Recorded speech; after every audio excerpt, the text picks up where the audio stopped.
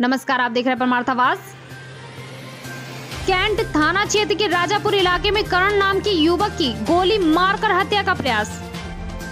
प्राप्त सूत्रों के अनुसार कैंट थाना क्षेत्र के राजापुर इलाके में रेलवे ऑफिसर्स कॉलोनी के पास करण नाम के युवक का छोला भटूरा और चौमीन का ठेला है।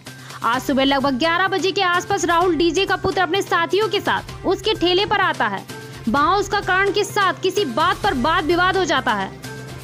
दोपहर को जब कर्ण खाना खाकर अपने घर से दुकान के लिए जा रहा था तो पीछे से मोटरसाइकिल सवार कुछ युवक आते हैं और करण पर कातिलाना हमला करते हैं। इस हमले पर गोली उनके कनपटी के पास से फंस जाती है। आनंद फानन पर आसपास के लोग पुलिस को खबर देते हैं और पुलिस घायल करण को स्वरूप रानी अस्पताल में इलाज के लिए लेकर आते हैं, जहाँ उसे खतरे से बाहर बताया जा रहा है।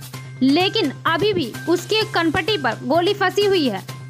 पुलिस अधीक्षक नगर ब्रजेश श्रीवास्तव ने बताया कि जल्द ही मामला करने वाले युवकों को गिरफ़्तार कर लिया जाएगा और आसपास के लोगों द्वारा बताए गए गाड़ी नंबर से हमलावरों को ढूंढा जा रहा है। आइए सुनते हैं इस बारे में एसपी सिटी प्रयागराज ब्रजेश श्रीवास्तव का क्या कहना है। ये तुम ही दे देना। है? देखिए ये कैंट क्षेत्र में राजापुर क्षेत्र का मामला है। जो घायल है करण इसका सुबह ये ठेला लगाता है चाउमीन और बर्गर वगैरह का। सुबह इसकी दुकान पे कुछ लड़कों से झगड़ा हुआ था। संभवतः वही लोग हैं जो दोपहर में जब ये घर से खाना खा करके वापस जा रहा था तो रास्ते में बाइक से आए थे और कहा सुनी किए जिससे फायरिंग किया है। इसको गोली लगी है और अ, कान के पास फंसी हुई है। हम लोग यहाँ इसका उपचार चल रहा है। और इसमें एफआईआर दर्ज कर हम कड़ी कार्रवाई करेंगे और जो भी लोग इस घटना में संलिप्त हैं उनकी गिरफ्तारी करेंगे।